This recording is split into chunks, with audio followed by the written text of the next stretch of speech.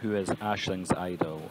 Uh, Ashling's idol would be probably would be a woman who's who kind of uh, a strong woman who sticks up for herself and maybe in business and stuff. I know she listens to some women on, a podcast. Uh, I forget her name. Maybe that would be a idol.